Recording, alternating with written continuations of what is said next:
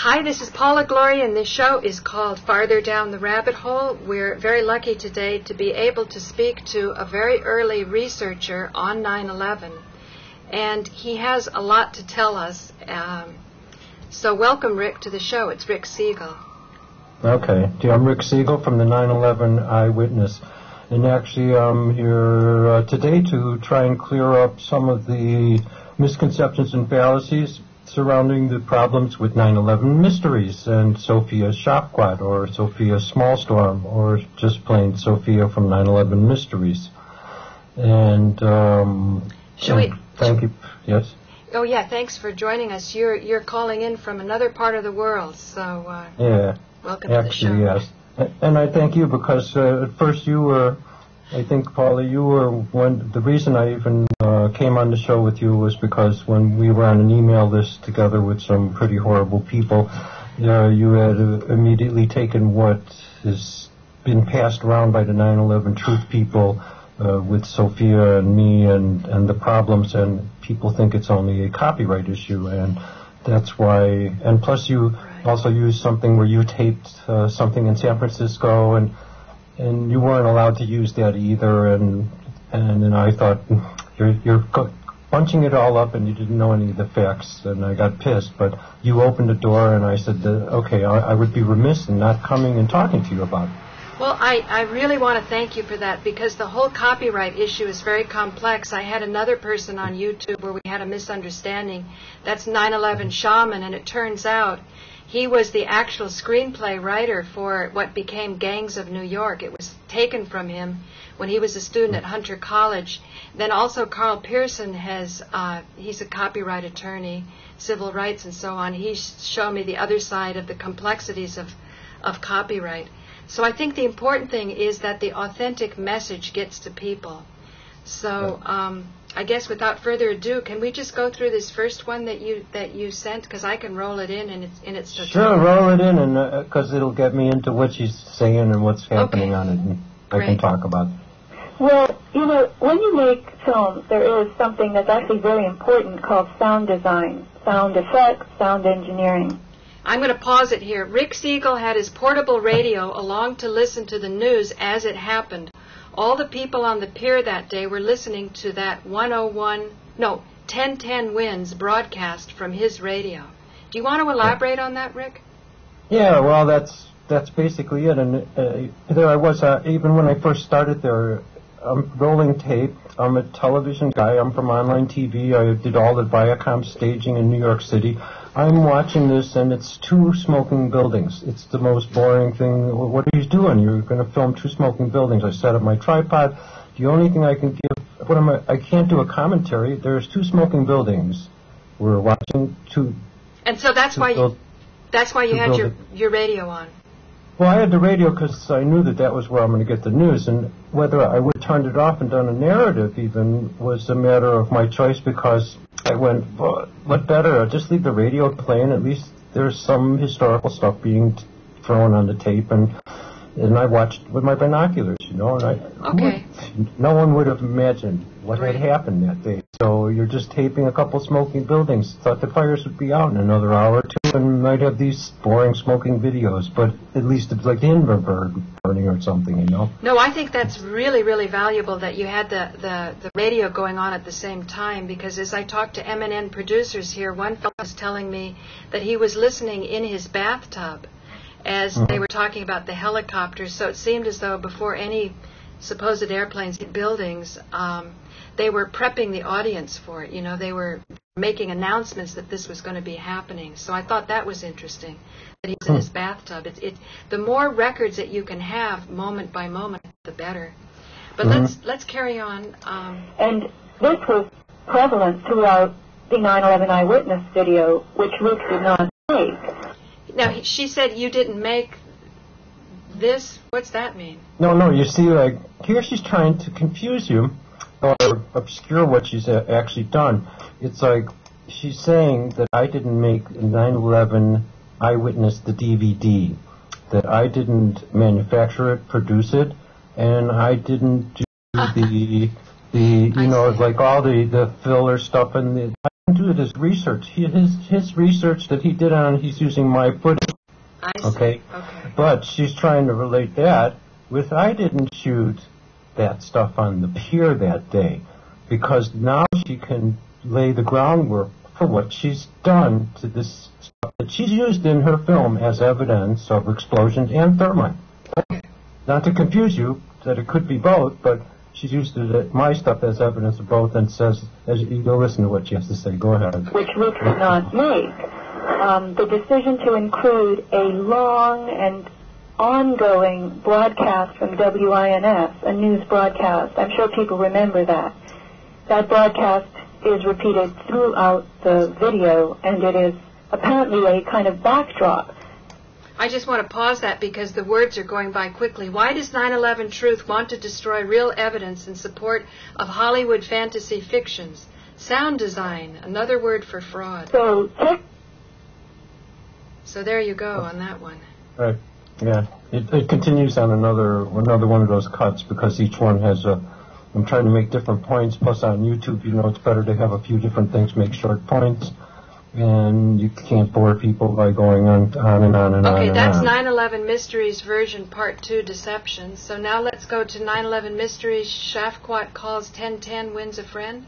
Fraud. Uh, fraud. Yeah, and that's this is what, what she's talking about. This tape, you know that that I didn't record it, and here it is in the background playing, and and it's an, you'll hear it. It's an insertion. very little like sound ridiculous. design. But we did add a, we did substitute for Rick Siegel's droning, and I won't say this is Rick Siegel, this is not his choice, but the person who made the video for him, the droning radio broadcast. Because in the context of our movie, our listeners and viewers would have gone, what? Why are we listening to that radio? What's that all about?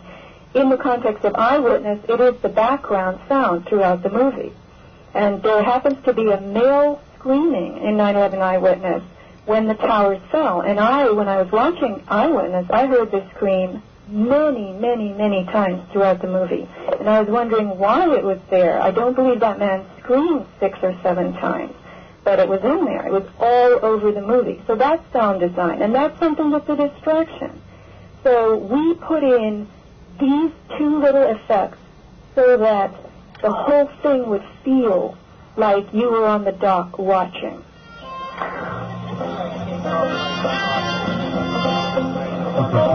Now, now you're really on the dock watching. Oh, okay. I'm going to read this. Rick Siegel knows the lies Sophie and 9/11 mysteries are spreading. All he can do is let you know you have to deal with it. So let's go.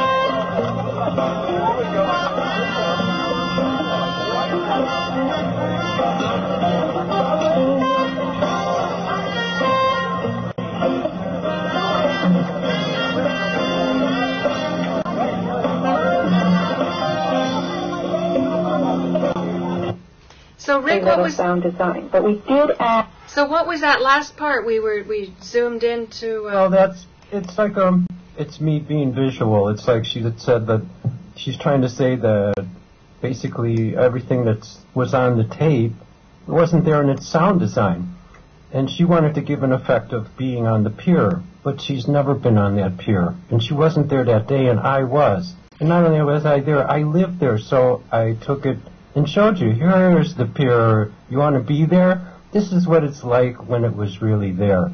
And that was an evening on the pier, you know, going along on a boat with a blues cruise. And uh, it's another tape I made. So, and I own all the copyrights, so I can do whatever I want with my. okay, so Rick, you were you were in Hoboken on the pier looking over. Yeah, yeah. Because I lived there. I lived on Fifth Street, which is so one she, block from that. So point. she, so she's saying there was the same scream four or five times that she was implying that you were doing sound design. Exactly, and that the that the uh, and she's she's saying that she's implying it's so polite. She stated that it's sound design and that the screaming was sound design, and she can't believe it was screaming. I mean, that was a big obfuscation. And uh, she claims that the radios, she said that droning radio, it's like, and that that's sound design. that's something that was inserted. Again, she stated that it's something that was inserted by the people at Blue Star who made the DVD. They inserted that over my video, and that's why it states on the, on those little video that at least they kept to what was on the tape, and they didn't destroy what was there to change it to do something else other than to comment on what was happening. So, and she did a lot more than that. So let's go on to the next one. It says this is the first in several videos showing lies, frauds, and distortions pushed for 9/11 Truth by 9/11 Mysteries producers. Mm-hmm. So let's get this. Uh, here, Sophie gives us a clip with inserted explosions, sirens, and complete with police radio calls in the background.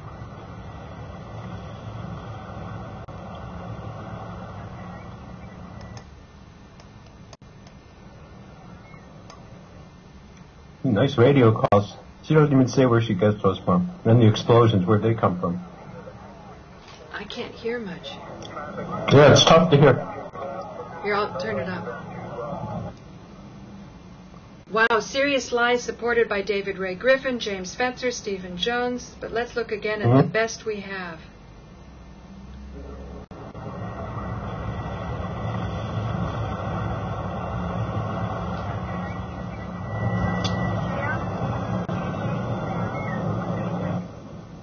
And none of those sound. Now let's look at the original. I thought originals were the best we have.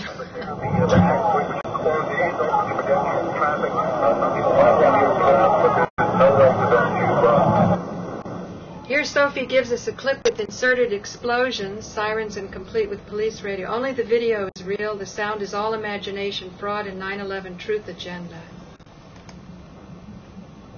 But uh, even, even that video uh, wasn't. Uh, uh, even that video isn't real because she somehow got erased the helicopter that went across it. It only comes out at the very, very end, and somehow she got it all gone. Right, I see that. Again, a lot of times, no one. It's like I don't understand what she's, why they're doing it. You know, why would you erase the helicopter? And it, it, but they, you know, Alex Jones made a big deal out of the helicopters. Everyone makes a big deal out of helicopters. And if somebody's erasing it, what, what, what are you erasing that from the tape? And now people actually comment on on forums like like Phil Jayhan is pushing that Sofia has the real one, and I'm pushing a fake. Now you see what they're trying to push.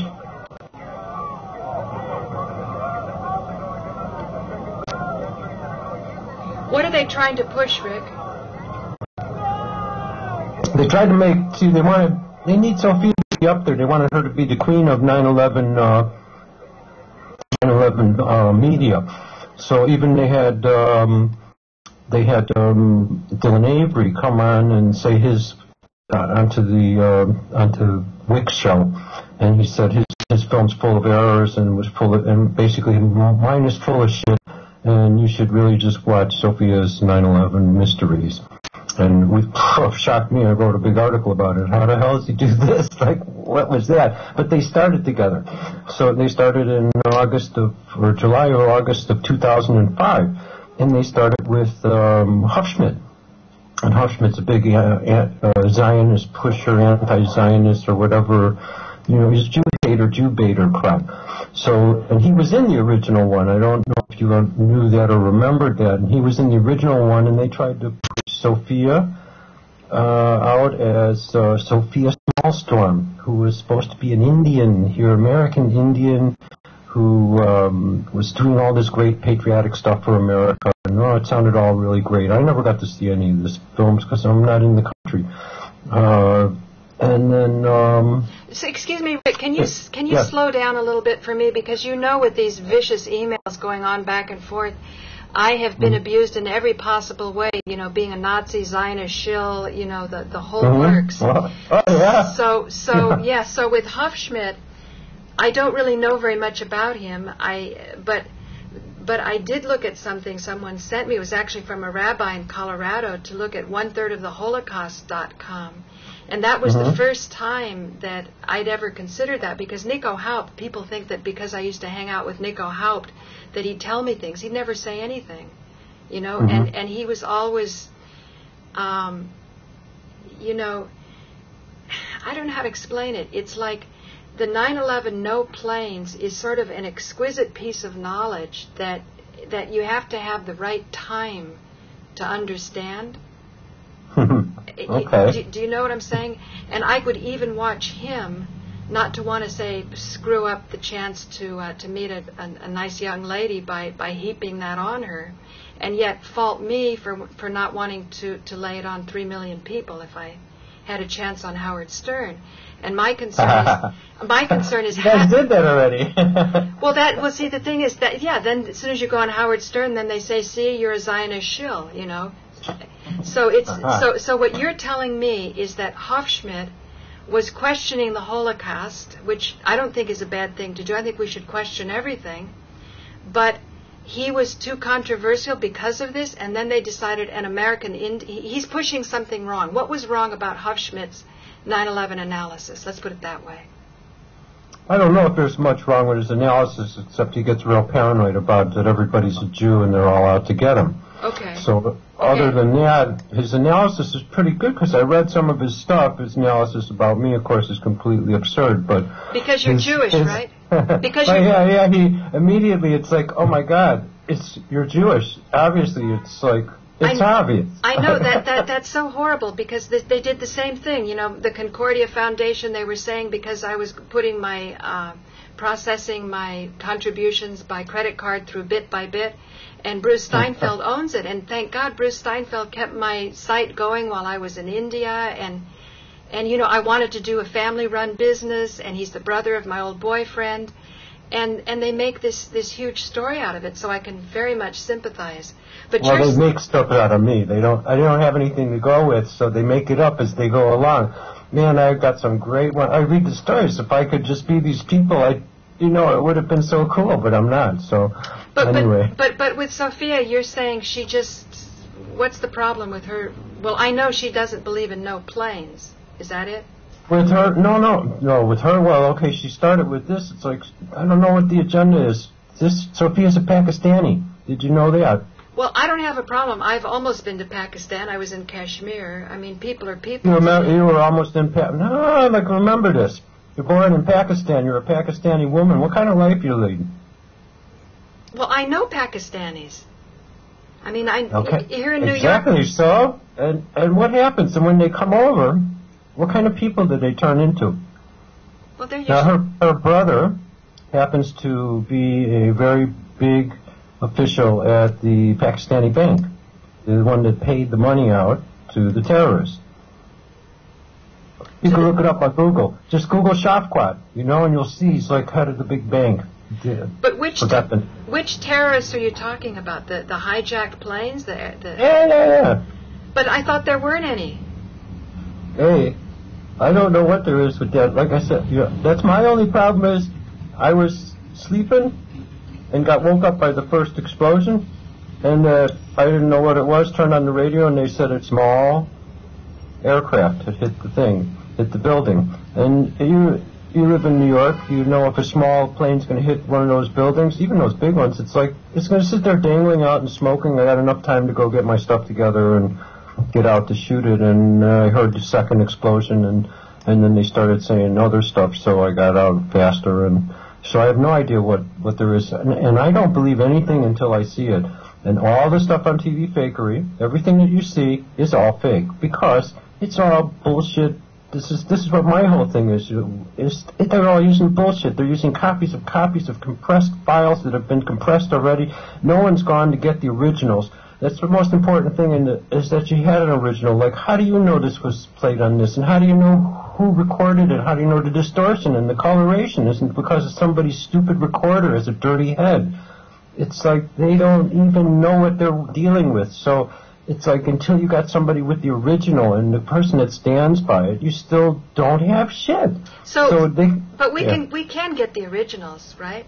They they have. No, we've actually ordered some, and that stuff isn't even in there. So again, it's like it gives more to no planes, but it still doesn't do anything. The only person I know who's gotten the one uh, like the dive bombing one is the is uh, Dylan Avery, and Dylan just bowed completely out at 9/11. Dylan had the money, and he got all the originals, so he's the only one who got to actually see those. I never saw nothing about planes. I know that what I see is fake, but they used to send me stuff. I mean, people still send me all kinds of weird videos that if you can know they've been touched up. You know this stuff didn't happen. They got s- smudges going across and say, "What's this? Is this a rocket?" I go, "No, somebody took something and did a smudge pen on a goddamn video and you're Oh, bothering me." so so you're saying, Rick, that that one of total penetration, where the airplane comes in one side and goes out the other, was just added on. It was never broadcast live.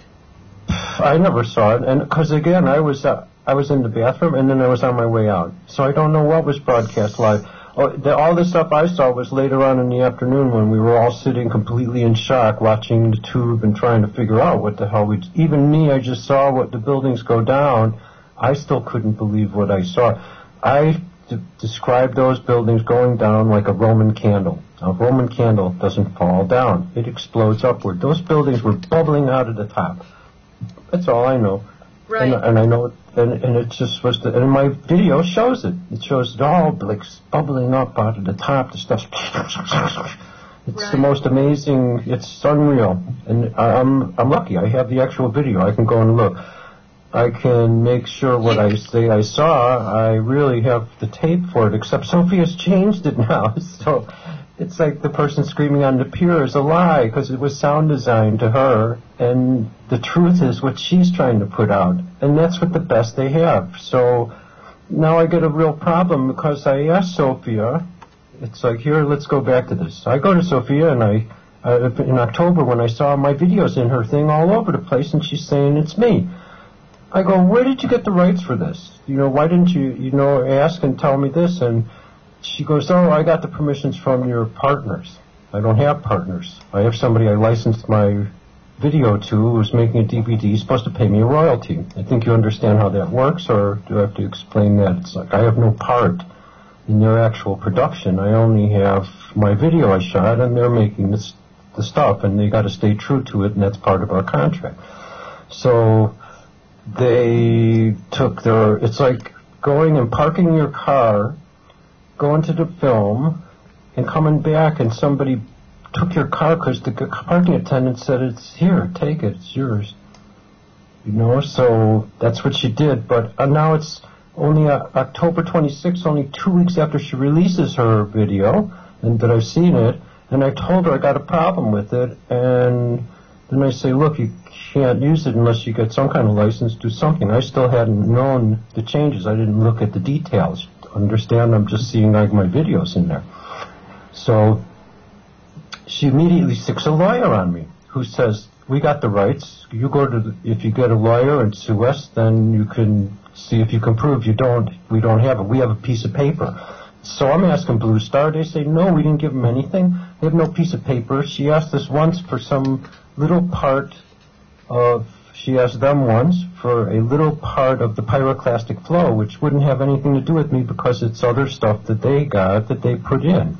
It's like not everything in 9/11 Eyewitness was just my tape. It was also other stuff.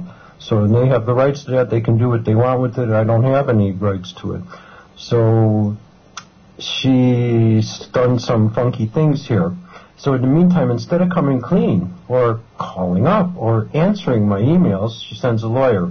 And I'm not interested because if you don't understand that you can't win in a court on something like that on a copyright case, then you've never been through them and they're just not worth it.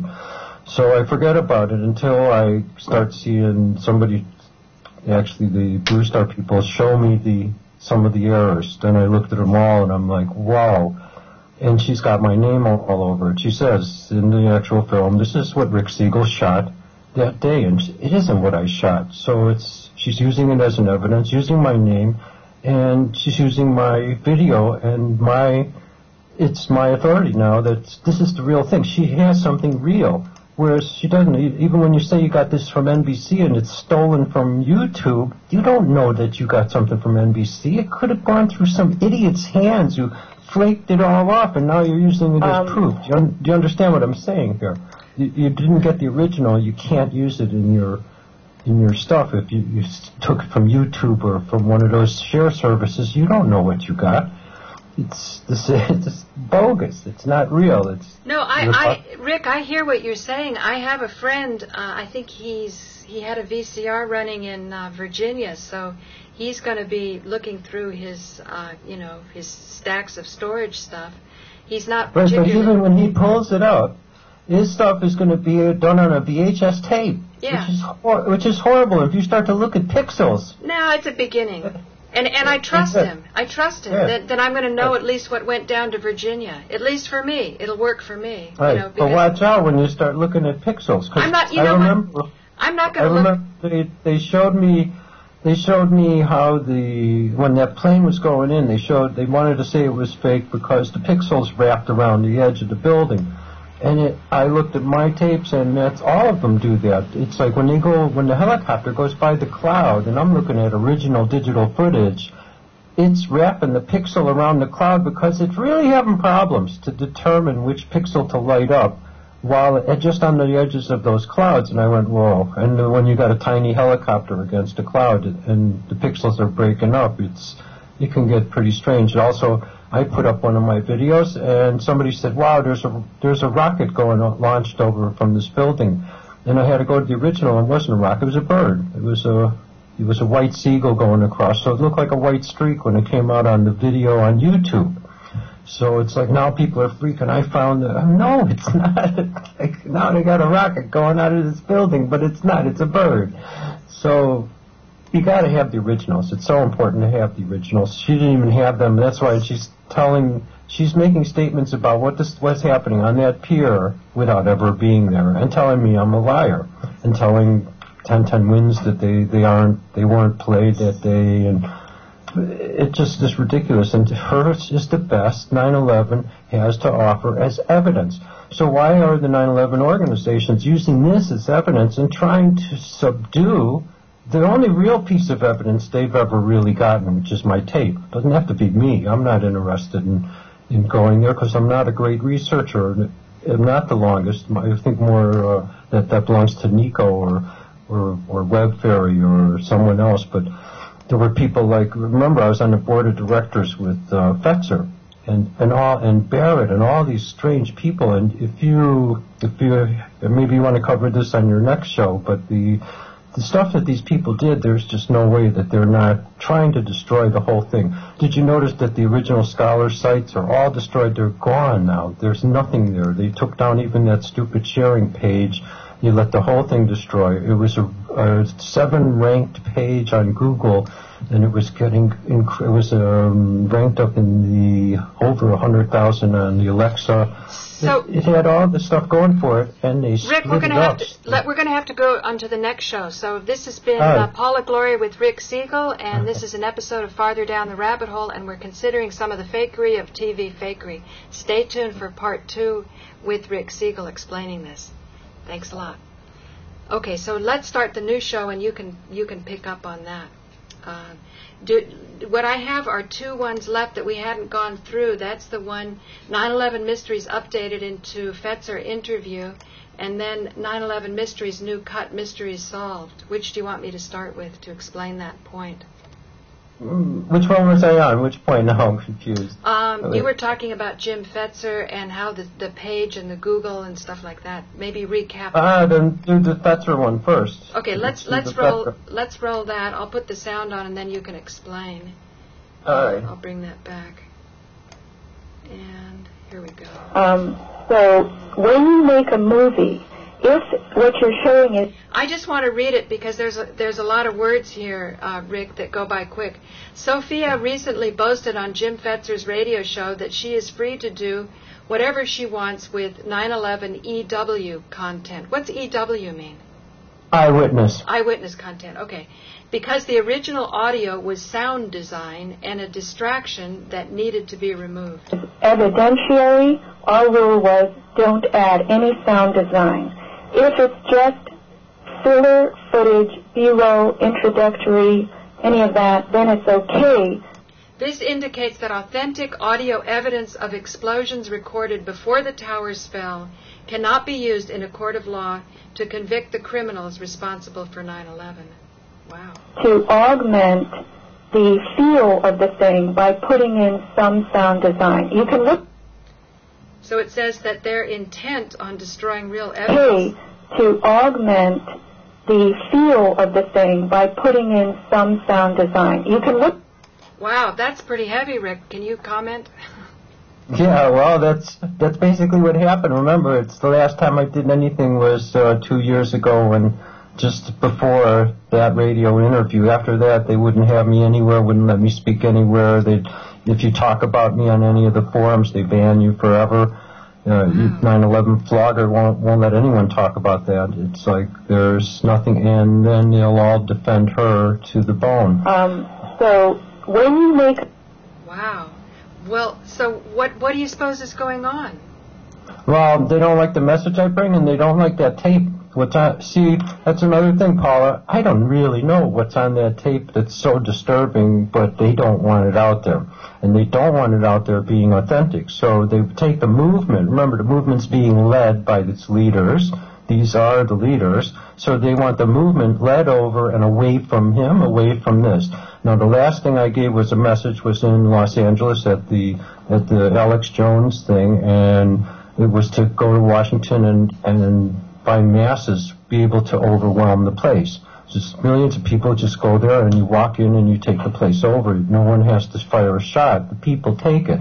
It's like by millions of people, they cannot do anything. Hundreds of thousands of them walk into every every police precinct and give themselves up right away and keep them so busy. There's nothing they can do. There's no place they can put millions of people. So, and I got the whole place in an uproar, and no one really liked that. And they just said, you can't do that. And if you don't come to New York, if you come to New York, we'll buy 5,000 DVDs. If you don't come, you'll never sell another one. Well, I just, just a second, Rick, Rick, you're going too fast for my mind to comprehend. Uh-huh. You are you are saying that that day you shot about what two hours of bore of footage that was boring because you thought eventually the fires would just go out and you'd go home. the whole thing was 58 minutes. 58 minutes. Okay, so Right. you so you had the radio running and and probably they looped the broadcast right. So she's saying it's boring to take it out. No, they didn't loop any of the uh, radio. The radio Oh, was absolutely amazing. The radio itself is a complete uh, timeline history with time coded, with the beeps. This is 1010 WINS, you Wow. know, reporting that day. This is amazing audio, and just that alone. There's like people talking about Building 7 going down, an actual interview of a guy who talked about how the building shuttered and exploded out and then came down. I mean, and they don't want that out anywhere. I put that up, it comes down. Hang on, but just a second. So, so Rick, so you've got this 58 minutes, but because you're working for a job just like a scientist, you don't get the patent. The company you're working for has the copyright, right? So you don't have. No, I, I got my copyrights. So I mean, I can take. I got the papers ready. I'm done with my papers. I own the copyright, and it's it's not just copyright. It's also Lanham. You see, you can't change the the, the real crime that she committed, and that that has to be pursued. Isn't that copyright? That's why it isn't the biggest issue. Although I'll explain some of that to you too. But the real crime is that she changed it, still used my name on it, and said it was mine. So you're creating a lie and saying it's Rick Siegel's. So, and Rick, that I, yes. so Rick, can't can't we sort of figure out what they want to distract us from by seeing what what was changed? Like you say, helicopters. You're not sure why, but it seems they're annoyed Exactly. Helicopter, and the helicopter pilot, I, tr- I even tried to get a hold of him. He's dead. Ooh. And We, we finally found out who it was. The only one who has tapes of the inside of that helicopter was on Well, Israeli you news. know, when you make films, there is something that's actually. I'm trying to find the- the helicopter shot sound so we can- sound That, that was in that first video 9/11 eyewitness video. Yeah. I'm gonna put pull Where- that down. where I compare, uh, not maybe it wasn't the first one, maybe it was the, it's where I'm comparing the two, she, that she's showing the building coming down and explosions and it's the sound and she erased the helicopter. So, and the helicopter is amazing and we, I know who it is and where it came in and I, I found the whole thing. I should have sent you that link too because I don't know. It's like it would take a lot of work to figure out what they're trying to hide. It's I mean, I've been trying to wake people up that they're all trying to hide. As you find when you go down to the church, how they manipulate things around and lead them on into the places where there not going to be any more resistance and and um, into futile efforts of petitions and stuff like that instead Yeah. of a, an actual radical change. which I'm hoping the financial stuff should actually boost. It's when you get the people in the streets, 42% of the people in the streets, you will see a change happen. Until then, the people are sort of gobbling it up because they're still in their houses. The government's going to print up billions of dollars and and give it to the bankers so that they can have their profits. like great.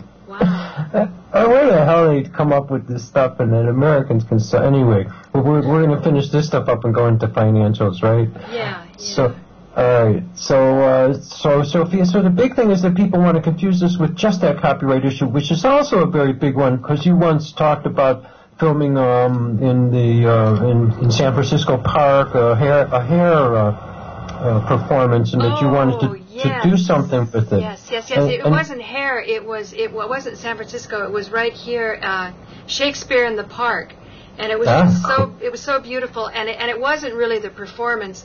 It was the whole ambiance of being outside on a summer's night, and it was just. Yeah, it's great. And I was careful. I wasn't interested in in in copying the performance. It was. It was the audience. It was. It was just. It was New York that night. It was just so. So where did you get the? So it depends on what you're planning to do with this stuff and how you're planning to present it, how how your copyright. But Oh, you know no. they have No, no, no. they have their performance. No, they- own the performance. Yeah, they own the performance. I don't know if they own the theater or whatever, but they sent me such a Mhm. such terrifying emails. I was just sort of Well, where did you put it? Did you put it up on YouTube? No, I didn't. They only got wind that I had it. They saw that I had a camera, and somebody asked, "Oh, where are you putting it?" I said, "Public access." They were all nice and friendly, so they took down my info. I didn't know that this was happening, and the next day I get this really intense email in my in my in my inbox, and and, I, and I loved it. I was going to paste it and sort of put it with other stuff to show me and Molly waiting in line to give my viewers a, an idea of what it's like to take advantage of something that corporate America and New York is making available for the people because it's free. You just have to Mhm. wait wait in line. And Right. that's all I wanted to. You know, I forgot about that, but I'm glad you picked up on it because I Yeah. would have done a beautiful show because it. it Yeah, but you should. What you should have done is is do your cut, you know, and show and then send it to them and ask them for your rights and say, listen, I want to do this in the show. yeah, maybe. Will you let Will you let me do it? And they and it, if you're not showing their show and you're doing what you just said you're planning to do, they would have no problem, and you'd almost be able to do that. Except you didn't get that permission, and you could ask it. They're a very big company, and you should be doing that because they can be scary. They they don't have to hire an attorney. One works there all the time.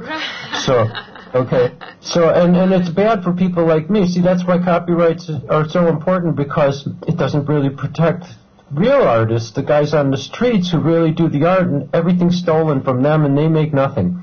It's like the poor bands are being suckered into giving away all their material because so much is getting stolen from big bands, but they're not making any money. So they'll never go anywhere and it keeps the big companies in business. So it, it's a it's a pitfall to think that you shouldn't allow the copyrights. It's like it's for those people, not for, but it, it's just all abused. You got to understand it's being abused, and we can get into that into the financial part of it. So because that's part of the abuse too. Where where do you want to go now? What what is your thoughts? I mean, like like Sofia, what is she? What is her objective? I mean, the whole idea with. Well, who would know? It's like that's the thing. It's like uh, I put any normal human being in any of this situation, uh, and I'm sending an email and saying, I don't even know that you got the permissions, and you're telling me, no, yeah, I got them and this. Then I'm saying, look, you changed the video, and like you can't do that. No, I'll go get a lawyer and talk to me. So I get a lawyer, and the lawyer tells, no, we're going to keep it in there. Now wait, and here's the other point. I was telling you about uh. Hufschmid was in that first edition, but Hufschmid was taken out in the January uh, edition, and mine was supposed to be taken out too. She was making a new cut, and I said, take my stuff out too, out of there, because you don't have permission. Well, she left it in. And she took him out because the 9/11 Truth people said, if you got Hufschmid in, we can't push your DVD. So she took him out. So in the part that's all out, that new cut, is the one without her, but she without him, but she didn't take out my stuff. And of course, then I found out what she had done to it and got really pissed. Then I then I couldn't stand back because she's calling me a liar. She's saying my stuff is bogus. If I let that go out, then I'm. It's like you always want your whistleblower. You keep saying you want somebody to stand up and say, "Well, this is fake." Well, I'm telling you, this is fake. It's too bad it's it's 9/11 truth, but like you got fake stuff and your people are fake. And then they tried, they kept trying to quiet me down by bringing me in and giving me position, but all I got was seeing more of their fakeness and and more of this political political uh, pushing of buttons to try and make you do something for the cause. You know, but the cause is truth, and that so lying for truth doesn't work. lying for truth. Yeah, well, that's Fetzer's thing. Even if it was true, I'm not going to say it. That's Fetzer. That's his line. He said that, and we we have a thing we called Fetzer when we were on the board. Nobody could be this stupid and still claim he's professor. He just did stuff that's, be, and it's only cause they have to do this because they were trying to ruin all these these. uh, and oh, these are the just. Yeah. just, just, just to let you take a breath on that because because this is very intense, uh, a very intense situation. Jim Fetzer was saying, even if it's truth, I'm not going to say it. Oh yeah, many times. I mean, we had a. Okay, okay. Here's one. because that was yes. here's one possible justification. Um, what if you think it would shatter people if you haven't really prepared for them in other ways? Like, like I, I think he was going to be on WBAI, and he said he wanted Paula to call in. It's a little tough when you have to be the one that's carrying the no planes. It, I mean, you don't mind being the one talking truth, but it's sure kind of crummy when you don't have people. Yeah, Paula, if you're talking you. about yourself, you should never let your. You should have gone on and take talked about what you needed to talk about, not what he's trying to pull out. Because see, the same. Like I'm not going to talk about no planes. I can talk about some of the video fakery, but since I I have no clue, I wasn't there. I didn't see diddly squat. I live in New York. I don't know anyone who did. Did you, I think you did. You live in New York at the time? No, no, I didn't. But you're saying you don't know anyone in New York who No saw one. who saw planes? No one, and I was big there. I knew thousands of people, and no one, no one. Everyone was either in their apartment or ran away. And I don't know anyone who saw him. And I actually know that artist guy who claims he saw the planes, and he's an artist freak. The one who, who they think again is TV fakery guy. Because remember, I was an artist in the art crowd, and I know all these people. So Right. it's like I know the actors. I know. Say, Rick, Rick, since you know all the crowd, I went over to Brooklyn to check out that photo that was done by uh, of of what Rosalie feels is Edna, the lady waving from the hole. Ah, okay. And and and it turns out it was because he was a friend of a friend of mine. So my Mhm. friend, you know, I was a little nervous about doing it because it's just so heavy. You know, Mhm. there's that that's the photo in the NIST report. And and you see that the hole is empty, and so I was kind of nervous about going over there, and and I said, you know, some people think this is a fake photo, and he was totally offended, and I went over there, and when I went over there, he showed me the proof sheet, and then he put it on the computer, and he blew it up and blew it up, and you could see all of the detail, and you could peer into the hole, and there wasn't a shred of evidence of an airplane, but as soon as I suggested there was no airplane, he just freaks out and he grabs the NIST report and he goes, "I believe in science. I believe in science," and and and and. oh, it's very safe, isn't and, it? and he believes that there's an airplane that he can't even see that he was so proudly exploding. He believes that the airplane sort of tightly went in there, had a cutty, cookie cutter hole, and then did its business inside. I mean, it, it These just people live lies. You've all, all Americans are lied to from the moment they're born. Okay, so they're told they're, now- they're now- lied to and taught Santa Claus and lies, and later they learn that lies are okay as long as they're good lies. There's good lies and bad lies, and big lies are bad, but only bad if they hurt someone bigly. So, but if they hurt them littly, well, and so when you got that kind of mentality, which is all Americans every American goes like, that doesn't matter that Obama lied. He had to lie and cheat to get to, he had to say different things to get into the nomination. Everybody knows that. It's like, well, no, I don't know that and I'm not accepting that and I'm not voting for evil and you're an asshole for taking a liar and saying this is going to be good. It's like you're, that's why we're in the mess we're in, not because of a Republican or a Democrat, but because we are a bunch of liars who accept liars as our leaders. Well, but but I think it's also people are afraid of their jobs. I think when I asked him, Their how- families, yeah. I said, how family. did you how did you take the photo? Because the photo looks like it's level with her, And he said he went up to some high building on Rector Street, but my calculations at the 93rd floor, how many buildings are that tall? There's no building 93 floors tall. So you would have hmm. had to be, he said 20 floors below, but I calculated have to be 40 below. And so you'd be looking, you'd be looking up. So my, he showed me the proof sheet. It had two pictures of the Edna one, and then uh, a couple black frames, and then every other photo was completely different shot. You know, more of a wide shot, bigger. And Mm. it almost seems. Oh yeah, you got the, you already got that shot. Well, it seems You know. it's, it seems to me, just in my humble opinion, that the shot was taken from a helicopter, fed to a pho- photography agency that said, "Here, you say this is your photo. You will get the money from each one that you sell because they do uh, art Uh, shows." now and you, you, you met this guy. I'm speculating, only speculating. Uh, but wait, I'm just asking, Yes. did you meet the guy? yes, I did. Did you, did you feel that from him? The last thing he told me, because he was really nervous, I, I think he really believed that there was an airplane there. But when I showed him the 11 frames through air and then the 11 fla- frames through the building, it, it, I Mhm. think it's that you, Fairbanks, Evan Fairbanks shot. You know, it looks like he's shooting up from the manhole. Oh, that's a weird one, huh? The, what, the, what he does, this, this, this, this guy I saw, the photographer I saw, was um, he said right away, it's like he wakes up out of his trance and he goes, How did he get that shot? How did he get the angle? So the feeling I got was that he felt there was some other photographer out there who got the lucky shot and he didn't get Mhm. it. Uh, but when he saw that shot, I would have thought a fellow photographer would be interested in other photographers' shots. But he looked at it and he goes, How did he get that shot? Now, the 11 seconds through air and 11 seconds through the, through the building didn't phase him. He didn't care about that. He just couldn't understand the angle. So the last thing he said to me, he goes, "What's in this for me?" And and I think I think I think nobody's buying these anymore. I think they've stopped going with the uh, the museum tours, you know, where they would go around. Uh, Mhm. somebody up at MNN said that her friend, or she knows somebody who was a photographer who had a picture of the airplane coming out the building. And, and Hmm. I said, well, I really want to see this. Now, she's somebody who accuses me of being anti-Zionist, so I have to tread very carefully with her because for some people, if you have no hijackers, your whole world falls apart because you've got to have Mhm. somebody to blame.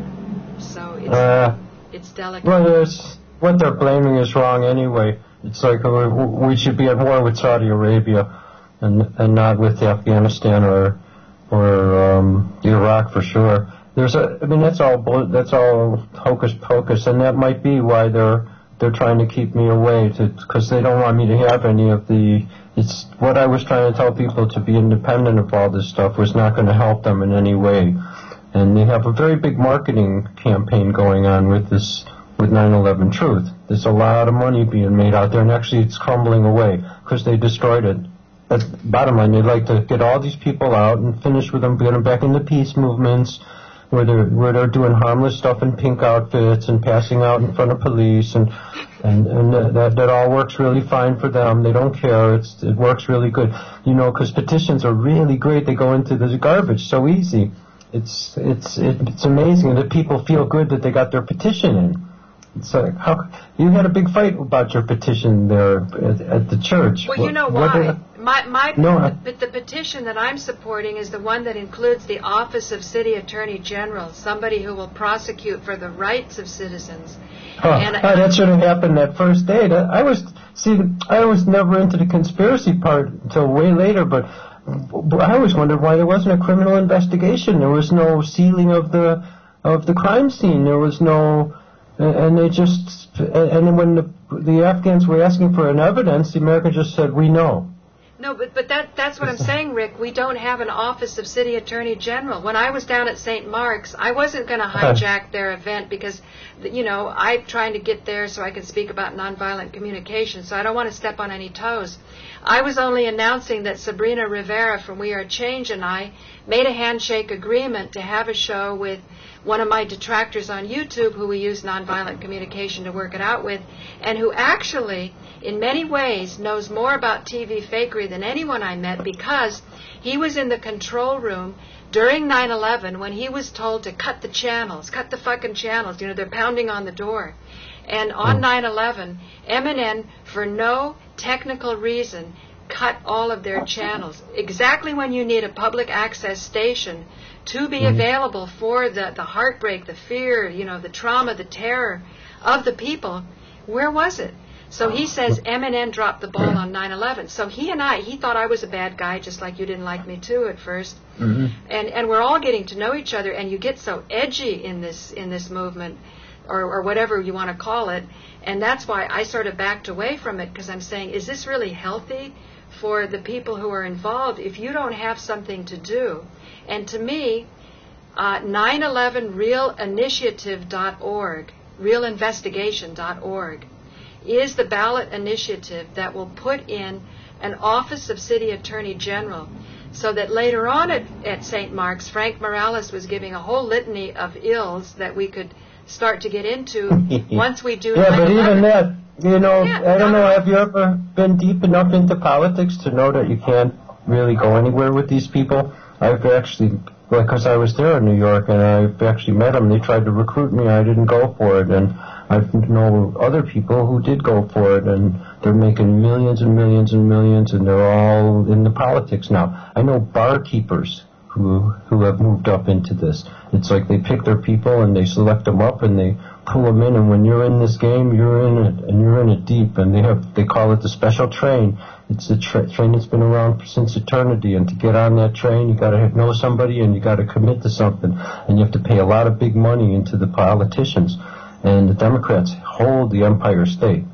So it's uh, and that's why Pataki. I know all of Pat- uh, Pataki's uh, people and all the people that helped him get into office and all. And I knew that he was going to have problems anyway because, yeah, it's it, it's it's such a scam. And it, the only way I knew that for sure was because I I was in competition with another guy in the in the television industry, and he came to Prague when he had been recruited and like uh, and and told me the whole thing. He was like so happy that he was now on this had a seat on this eternal train. And next thing he's goddamn right there with the governor, you know. And the, the, before that he was just a barkeep who was putting on rock and roll shows with deadbeat bands, you know. Wow. So when did when did you leave New York? Uh, I left about four or five months after 9/11. I, I mean, it's like a scratching eyeball there.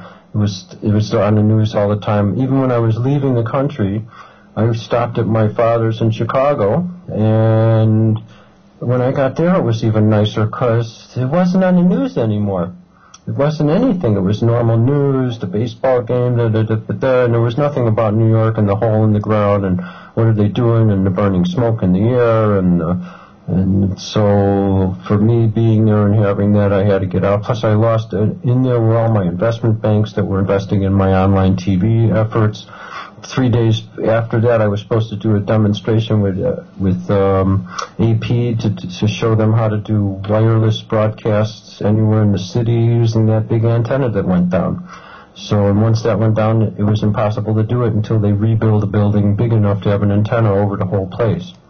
So that's the end of wireless from any point in the city. Wow, that's so interesting. Can you explain online TV? Online TV was, uh, well, it was it was founded in 1996 to bring uh, television over the internet, interactive TV, and it was the first to broadcast 24 hours a day or using multiple channels. And we were the first one to broadcast real advertising out of it. We had Google ads, not Google, it was YouTube at the time, or you, Yahoo, and that first Yahoo ad was This is Paula Gloria, and this is another episode farther down the rabbit hole with Rick Siegel. Rick Siegel had original footage of 9 11, I think about 58 minutes, that's become the subject of uh, a lot of provocative controversy. We've gone over that in, uh, in previous shows that, uh, you know, it was a copyright issue and 9 11 Mysteries wasn't being faithful to, uh, to his footage. So, Rick, thank you for joining us again. And uh, now we're going to talk about the implications of 9 11 in the financial markets. Uh-huh. Uh, I think there was only one little part of it. Well, actually, because they they took everything over at that point. Uh, it's if you 9/11 is the actual move into a communist fascist state, the actual finishing touches of a communist fascist state that probably started somewhere in the late 60s with the advent of that first meeting of governors that happened where they they changed the meaning of the states. So, uh, and at that point it started to change. We're only seeing the culmination because if you if you I think Paula when you went to school didn't you have civics in your classes? Yes, I did. Didn't you have to know the Constitution and be able to recite it before you? Uh, yeah. So they don't have any of that anymore. And and we were taught our rights, and we were taught the state constitution. You had to memorize all of this stuff and know it. My my teacher was particularly uh, patriotic, and boy, you, if you didn't know everything backwards and forwards and what was happening, so you understood your rights. And no, none of the people know this anymore, Paula. When you're talking to people that are went to school after the '60s, they do not get civics. They do not have constitution. They don't have to pass any of those tests. All they have to do is know how to be nice to their friends. The uh, school system is the same as the communist school system was. And uh, I have a communist wife who knows it well and freaks all the time. Well, that's what we used to do. And I'm like, yeah, because it's a communist system. And you're slipping into communism and fascism. Again, I say you're because I left there. And when I left, I took myself out of that country because it's the only way now. People aren't standing up. They weren't when I was leaving. So if you're not going to stand up for your freedom, your rights, and now for everything, then you're in dire straits and you should actually remove yourself. Uh, remove yourself because you can't pay into the system. You're giving it its validity. You're giving it its, you can't vote. If you vote, you're, you're giving it its authority. You're saying, yeah, I got to vote because you're my authority. No, they have no authority over you. Give them up because they're they're. It's such crap. If you want to attach yourself to these idiots, I mean, they're they're totally bizarre.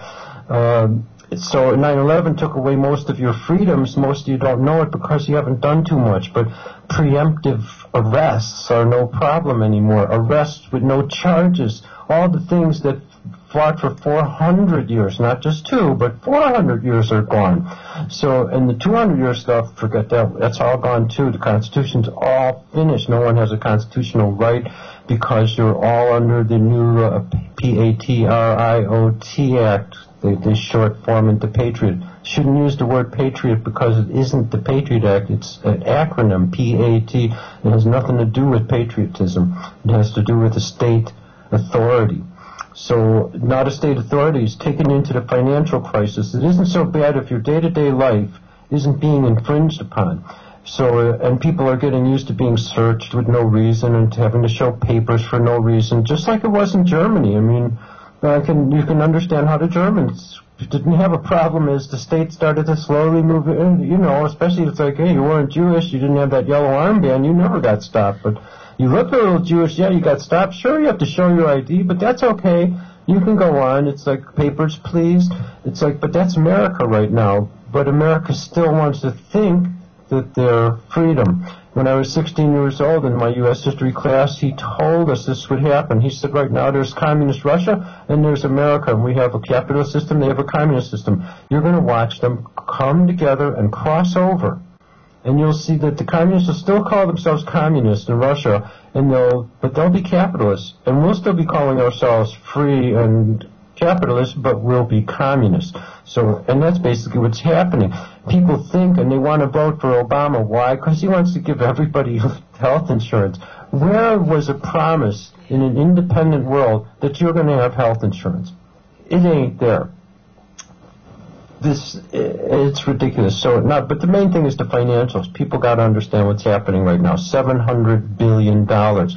It's it's called a bailout. No, it's not called a bailout. What they're doing is they're giving seven hundred billion dollars to cover all the bad debts that these bankers have made. These bankers make bad debts not with you, the nice people. They make bad debts with their friends. It's like they're constructing something and everything falls through. They got bogus cement.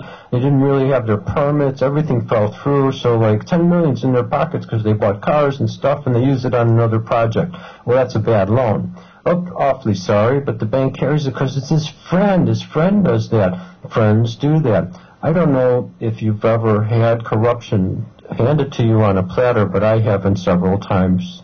I have had that handed to me several times in my life. When they start you on the path to corruption, it's always on a small bit first. There will always be two people with you on the other side. The one person is your authority figure, the one who you who hires you, and then what they do is they tell you that they need something, and you know that they need this because there's a lot of paperwork and accounting that has to be done. So you're going to do this because here's what we want you to do. You're going to do this, and we're going to give you ten thousand to do it, and you give us an invoice back for this ten thousand. We give you the ten. You give us five under the table. You keep the other five. You gave us nothing but this invoice, and we'll make sure that the company pays it.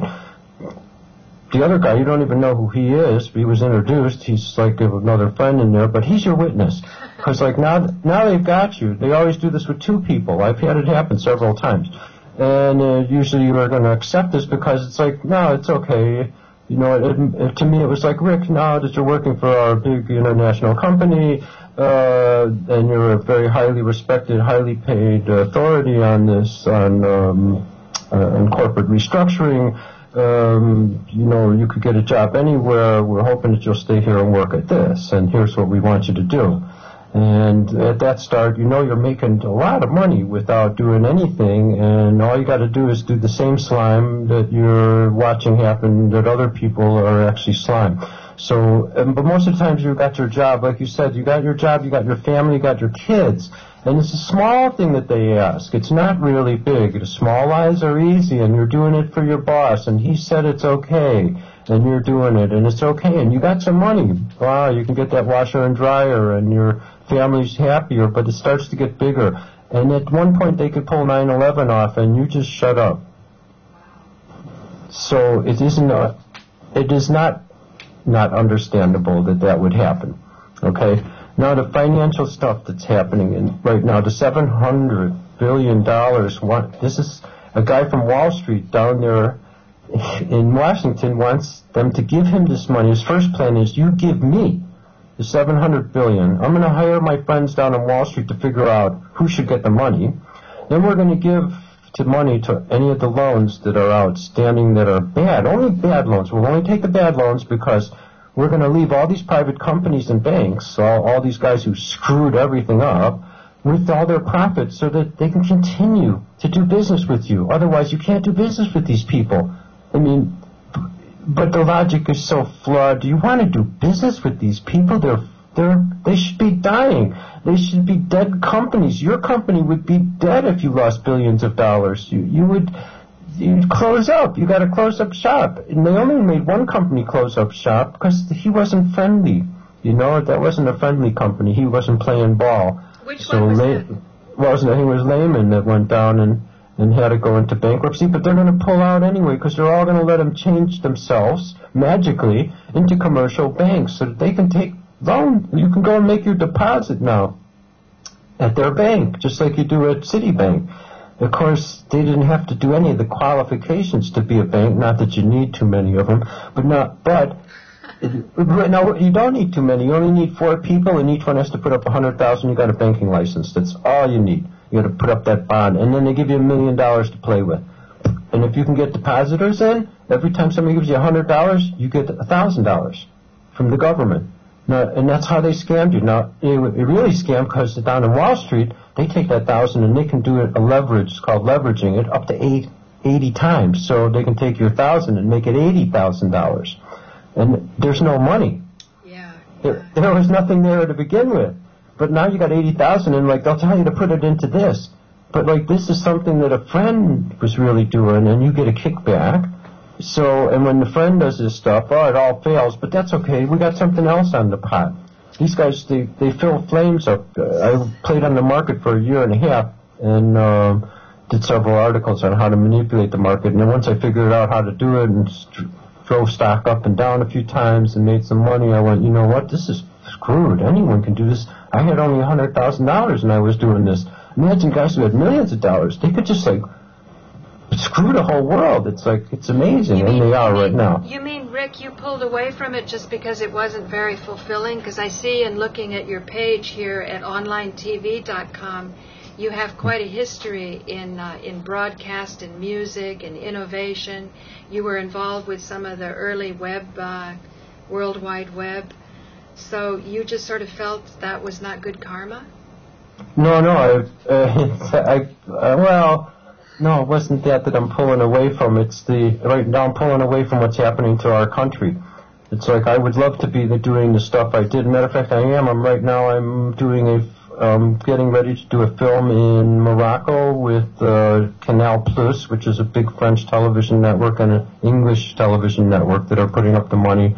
And I'm doing a film for the Moroccan government to show. I don't think it's the government. It's to show Morocco coming into the future because it's come a long way in 20 years. But but but So, Rick, uh, it just yeah. sort of sounds like you kind of gave up on America. You just left after 9/11 because Yeah, well, it's like I came back. I tried to rally the people to come to Washington D.C., and instead I, I got incredibly bad treatment, and that's one of the reasons I think they canned me out of the 9/11 truth is because I'm not going to sit around and make petitions. I'm going to either either we're standing up and going to D.C. to take over because that's the only where that's the root. You got to strike the root.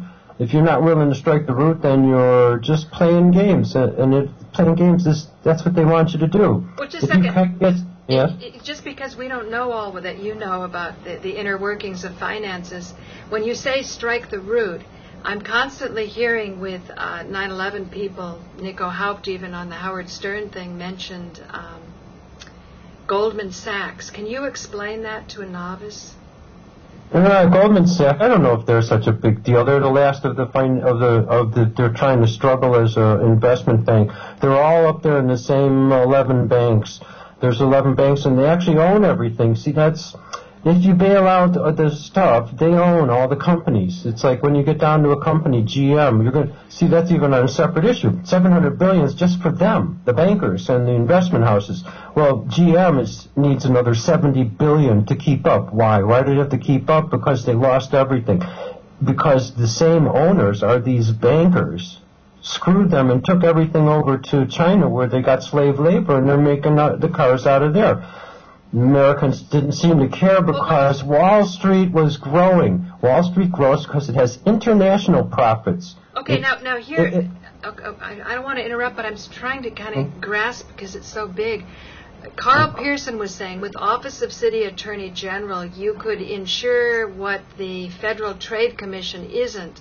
In other words, you can't be uh, selling below market, so that Walmart is actually losing a lot of money, but they hide it. Maybe they bring in other kinds of, uh, of of money, like you know, there's a whole drug economy that's never recognized. I don't think it's Yeah. losing money. I think because they don't pay their labor. There's no labor, zero labor. I buy it over here in Europe for uh, the equivalent of two dollars. I get a complete uh, screwdriver, a really good screwdriver kit with anodized steel tips and all the different things, and a and a swizzle hand. Just the metal alone, I'm going. I paid two dollars for this. It's like where, and it's in a plastic box. How the where the? But that's what I'm saying. That's what I'm saying. Just the metal alone isn't. It means labor is not an issue, even if you don't pay your labor anything. What's going on? He's saying they're, they get the- the- he's saying they're doing it to become a monopoly. That in other words, Right. that's the price that you pay to squeeze out all of the competition, to give no jobs to the local areas. You know, wipe out the local uh, retail Well, it's the. American way. It's what they taught us in business school. How to how to But not- you know. It's called the loss leader. Yes, yes, yes. But what about antitrust? Antitrust. It's not- well, it's not that, that would mean the government isn't a part of it, but they are because all the everyone is over in China now, and China has all of America's money. They're all it's all sitting there. We gave them all our money, so they have all the money. They're waiting for all the property to go down, and when they do the bailout, where do you think that money is going to come from? So who's going to own it? It's like, and, and that's the other thing. The bailout isn't bail, it's a nationalization. If you're taking something on a national level, it's a nationalization. So they nationalized, and they didn't nationalize the companies or the business or anything. They're nationalizing the debts, and they're leaving privatized the profits and the ability to make more profits. And they're doing this under the guise that these guys can't make profit and sell you money unless we take all these bad debts. but they're not even selling you money. They're giving you debt paper, more debt paper. It's like you're not even getting real money because they took the real money away in 1972 when they floated off gold. That was the last time Americans couldn't have. Yeah. So what's going to happen? What's your idea? Because you're a man of a lot. Well, the notice what's going to happen is the government will continue on, and they will do this because both the parties have said they will continue on. They're going to do it. Uh, you would think somehow different ways, but no, the 700 billion or even more, probably closer to a trillion and a half, is just going to be funneled out into nowhere. But there is no trillion and a half anyway. That's why no one cares. They're just going to like make it up, print it up, and hand it out to their friends. Then like all the banks, and they do. They're actually telling you that it's only going to go to those big billion banks. Now, and the, there's even a heavier catch they're trying to do this to any bank or any business that does business in from the world in America. So every British is covered. If, As long as I do business there, I can be covered. I don't have to have much less than one little office. As long as I got to do business there, any of my debts, I, let's pile up all my bad debts. We're going to hand them over to the Americans. They're giving out free money. It's free money because no one's paying for it, and the taxpayers you know, you're the one who they're telling you has, it's on your children. You'll never pay it. It's your children and their children in slavery, but not because they'll sell it out. Well, China has all the money, so who's going to end up owning all the housing, giving them all their money? It's China because we're going to take more Chinese goods. So how do I get your property? Uh, you owe me more money. I'm going to foreclose on you. So, so what what do you think should be done? What's, what's, your, uh, what's your answer? You gotta gotta go to Washington. Everyone's got to get in the streets, and when it won't happen, Paula, until 42 percent of the people have to be displaced, and it's getting close already. And it, it's like if they do this, you will. If they do the bailout, you will see us change for a few months. But uh, Europe's not going to accept this because you've devalued the money more. It's already been devalued 50% in two years. Devalued. There is no inflation. Out here, it's the same prices. In there, you, when we deal with dollars, it's you've been devalued 50%. There's if they're not using the proper terminology, they're trying to couch it. Yeah, yeah, I understand that. Who owns us, Rick? Well, China, basically, but you're communist already. The schools are communist. You've got socialized medicine. You got your you you know that you got your total care from birth to death. You you can't do anything. Your children aren't yours. They can take them in any time. You know you can't discipline them. You can't do diddly like you don't. There's nothing left of freedom in America. It's true. Nothing left. There's nothing left of privacy. It's like your home is not your private castle anymore. Your home is for them to be in. They can come into your home, and especially if you got a child, then you're you're all, it's all the states and they've made it clear. It's true. I want to tell you, ladies and gentlemen, I'm doing work with Patience Poet. She's a lady in San Bernardino who's watching the child so-called care courts, and she just spoke the other day about something called Phoenix, and they had Operation Sunrise one do- one morning at four o'clock in the morning. They came into, you know. Uh, poor people's houses, I guess, uh, you know, under the uh, uh, illusion that they're going to be taking them from humble surroundings and put them into better homes. They, they took 39 children from their homes at 4 o'clock in the morning in San Bernardino. And they want to apparently duplicate this program all over the United States. I think it's, it's such a wonderful program for the churches, isn't it? no, I'm sorry. It, no, it's, it's, it's horrible. I know. It's so horrifying. And the thing, and mothers have to go through this, and, and children have to go through it. I was freaked that they did it. Do you know what they did in Texas when they they raided? Uh, it was a religious cult, but a legitimate one. It was the original Quakers, the ones who believe in the multiple marriages, and and they they tried to play that up as a a schism, yeah. but still, it's a legitimate cult. You know, it's a religion. Right. Leave the people alone they're peaceful. They're doing fine. They go in there and, and because this community had a couple of, and it's, they haven't even improved it yet, but they say there may have been a couple of perverts in there. It's like as if no neighborhood is without its perverts. So it's like ridiculous. And they did this with no papers, no courts, no nothing, just because they fake the phone call that. I mean, it's ridiculous. They don't even need papers to take your children, and they can walk in and when you see these big burly guys and guns and they're taking children away, what the hell are you doing to these kids' minds? And nothing was wrong with them. Nothing was wrong with the parents. It's something's wrong with the state. So, and what can you do? It's like, really, it's got to be displaced because petitions aren't going to do it. They're not going to change. They're making millions off their back. Everyone's getting rich, nice properties. I mean, Obama's got a huge place in New York for a guy who just does community service for a couple of years. He's styling, man. He's in one of these houses that, uh, it would be like having a place on uh, Park Avenue and, eight- and 88th Street, you know, way up there in the really nice buildings. Oh, so cool. He's got a great place, and it's right near the lake. No, I know. We've heard about Obama. Webster Tarpley doesn't like him. He calls him a Manchurian candidate. But He is, and, and yet, what do you got? McCain. Oh my God! I don't. We don't even have to start there. I think it's like McCain is the end of the universe anyway. so, so Rick, I'm going to send you uh, uh, Carl Person's 9/11 ballot initiative because the Office of City Attorney General does give some hope. And I'm going Yeah. to post this, and I'm going to have him take a look at some of your comments because you are enormously creative. And do you miss America? Because if you were Oh, yeah. if you were at Tompkins Park, to explain more what you were doing there. No, the problem I would have. Oh yeah, I was doing the uh, every summer we would broadcast the uh, the anti folk festival out of Tompkins Square Park. It was a whole day festival of music.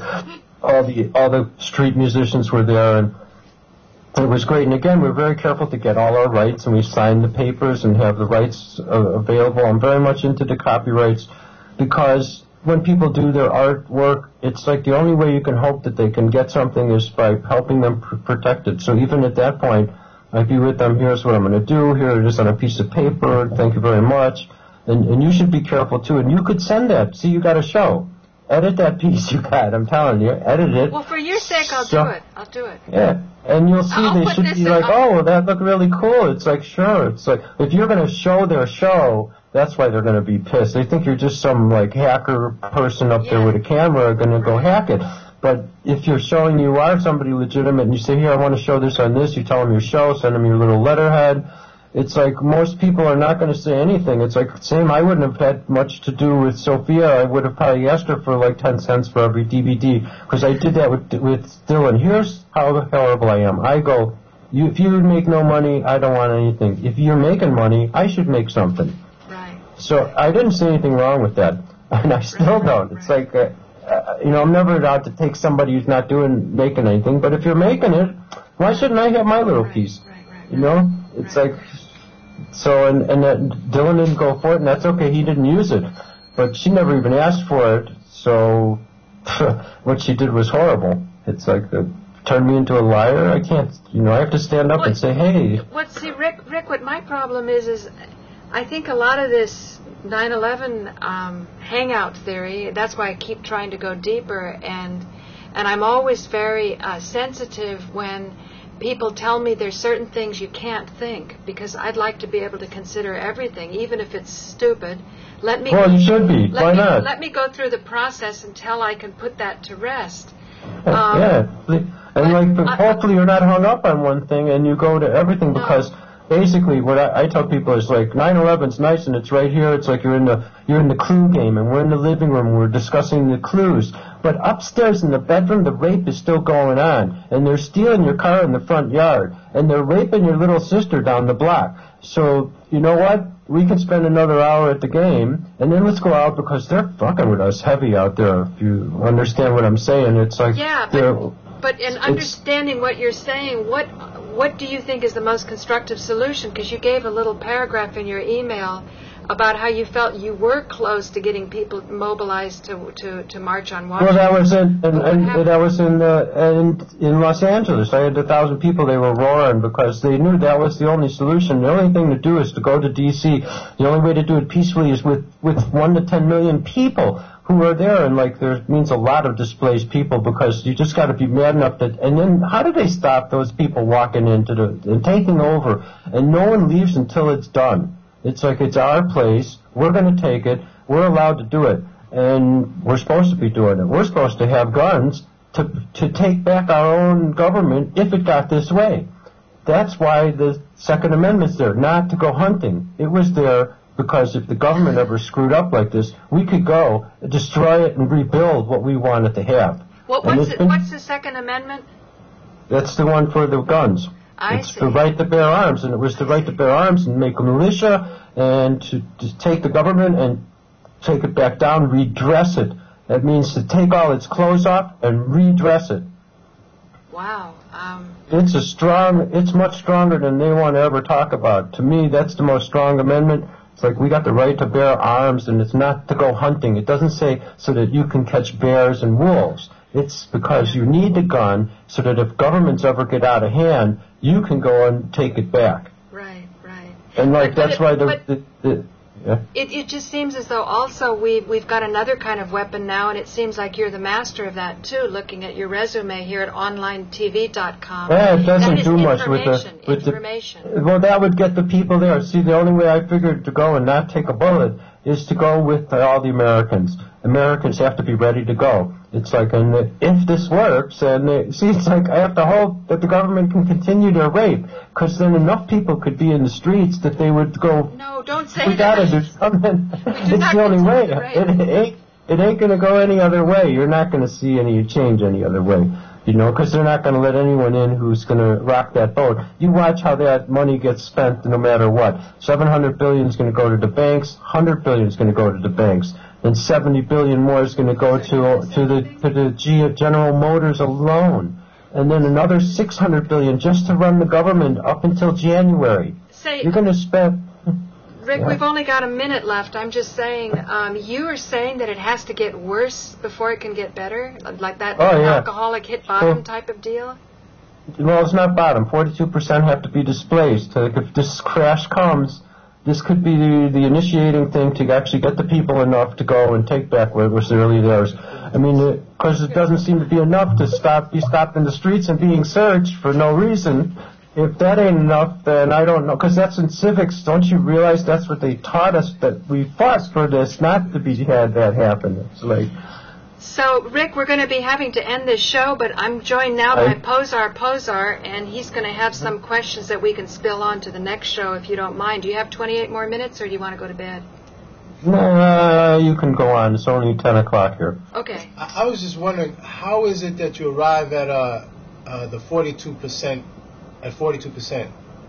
Because that has to be what's in the streets. It's like 5% to 7% have to be active. It's based on based on what would happen at the revolutionary state during the Revolutionary War, how many people it took. If you if you studied it well, you understood that 30% of all Americans got the hell out and went back to England because they thought everything was a freak show here. And there was only about a third, 30%, that were actively Slow, endorsing. slow, slow down. Everybody thought they thought it was a freak show here. Oh no, thirty percent of the people said, "Whoa!" and they went back to England. They wanted nothing to do with these freaky Americans who were trying to do this. Trying to get Okay. independence. Trying to get independence. Yeah, exactly. So it, basically, you could consider them English neutrals. We're not going to go and fight about this. We're getting the hell out. And the ones who stayed of the English, they're the ones who are holding on to their property. And the rest of them wanted to get rid of the English because they impinged upon them creating money. It was all about money. It had nothing to do with anything else except Americans wanted to print their own money. And the king didn't want to have that happening. Do Nothing you, to do with taxation without representation or any of that bullshit. okay, along those lines, I was at St. Mark's looking at uh, a statue of Tompkins, who, it, Mhm. who it appears in 1812 Mhm. Uh, used his own money because the bankers weren't going to lend the U.S. government more money unless he he he provided his own assets as collateral. Do you know anything about that? Do you know anything about Tompkins? No, I don't really know about that, but I would know that by 1812 they were already had the war. The war, the the wars were happening. They had a war with England coming up because uh, they were passing some laws here that were going to make it illegal to, to for English to be here anymore with their titles. So, and and that if you got a title like uh, knight, the knighthood that was given to uh, to Giuliani, It's that's well, you couldn't do that, and he couldn't be a knight because you couldn't accept that and be an American. He'd have to give up his American citizenship. Actually, being a knight, he can't be the president. That's all he can't be because he received a foreign, uh, a foreign dignitary. He's nobody's supposed to be above the law here. Is that a good thing? Uh, which, well, it's a good thing not to have royalty in this country. That's for sure. It's what we tried to get away from: is the royalty and the cults. I mean, all those religious cults, they're all the same. Yeah, but you Uh, seem you seem pretty forgiving about the bona fide cult you said down in Texas who was Quaker and No, no, it's, well, forgiving is that, you know, every freak has got his way, and I'm not interested in, in telling somebody that you're, you shouldn't do this because you're that freaky. It's like, as long as you're cool and doing your stuff, I want to see it even, and I'll check it out, and more power to you. You're not hurting anybody. What the hell is wrong? It's like, that is what America's about. It's like, I encourage them to do that, and not only that, I want to protect those kids. It's like, why were they screwing with these children? So, it has nothing to do with whether I agree with their outlook in life. Same, I, I love all. It's like they're, they, everyone deserves their little place. I don't have anything against any of the people who believe in all this stuff.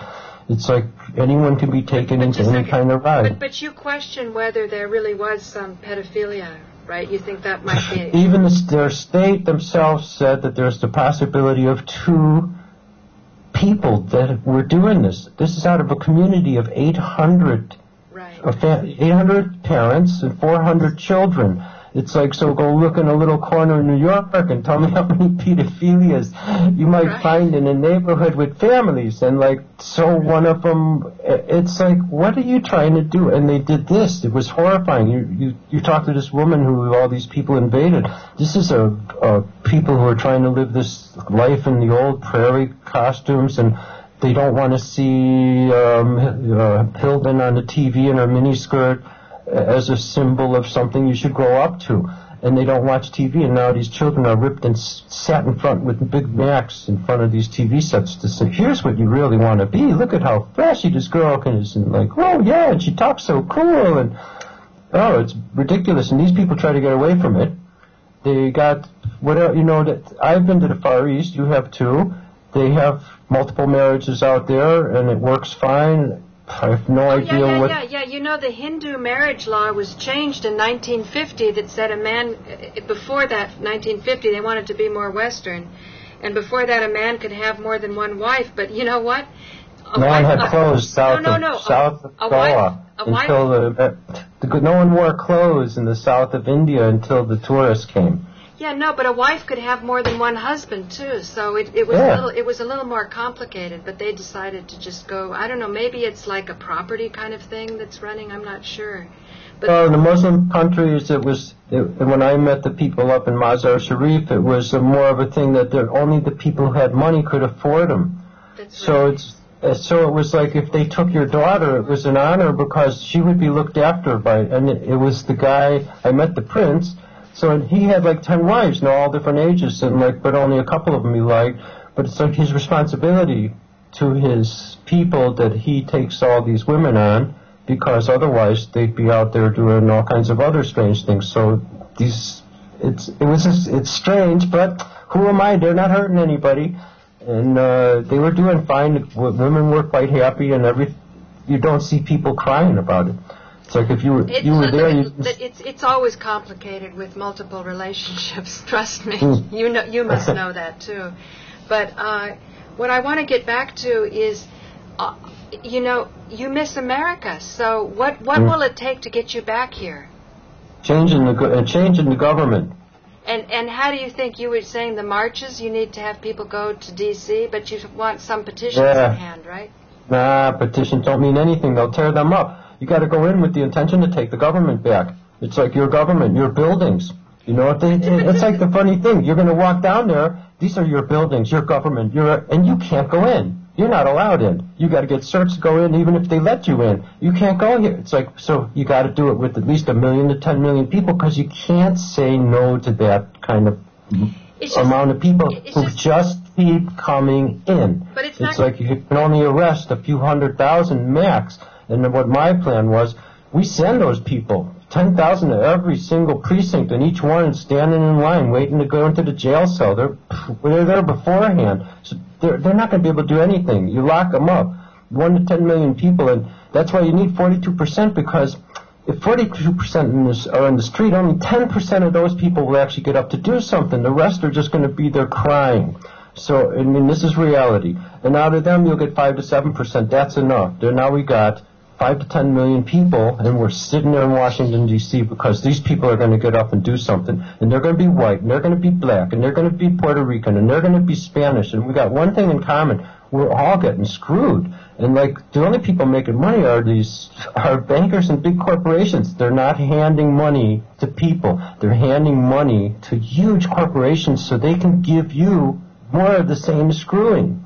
It's ridiculous. Yeah, that, that's that's why we were with the Pickering brothers last night. Who were talking about the UFO, the black ops, and uh, they were talking about disclosure and contact with other civilizations and going to the UN. And I said the UN is an organization that's so out of touch with the needs of, of regular people that if there is it's such sort a thing, of like a third world. Uh, um, it's yeah, it's definitely changed its scope. It's it was it's originally just a banker structure. It was a bunch of bankers. Uh, It's like I, I my whole thing to all people is like, please find the founding document and the list of the founding fathers, and you won't find it because they're not going to let you see it.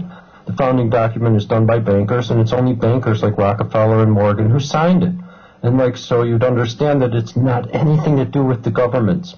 It was just supposed to be a meeting place where they would might try to talk to them, make them like sit down at a table. And now it's turned into a place where most of the third world gets its money fed to them from America. And that money's coming from taxpayers, and they're not even coming from taxpayers. That's a joke. right? You're being sold into slavery for the rest of your eternal lives and your lives of all your children. Most of this, I think, is payback for the revolution. They said they were going to do this, and I can't believe it's true, but it's definitely worse. They said they're going to give it back to you worse than you ever had it before. And if this isn't worse than before the Revolutionary War, I don't know what is. I, I can kind of relate to what you're saying about it being worse because um, it's very exciting when you talk about making this type of change in D.C. But when I go around, I see the spirits of people are broken, and and that Because is they so, think they can't do anything. yeah. And and like you say, St. Mark's, it's true. It it just takes heroic efforts to uh, to kind of get through that and see a bright light at the end of the tunnel. But then I keep looking at the statues, Stuyvesant, Tompkins, and I think, what did they go through also? You know, and and can we uh, can we maybe access our technology, realize that our wealth comes from technology and not our labor, from capital and not our labor, and just insist on economic policy where we participate in the wealth and not through jobs, but through access to the capital, access to the wealth. And then even those who are wealthy can say, you know what, if we don't cut loose with a little bit of, of sharing of the ownership, we have more than we can handle anyway. There's not enough creativity in the mix. How much can you screw artists, take away their copyrights and so on, and still get art, still get something that makes life worth living?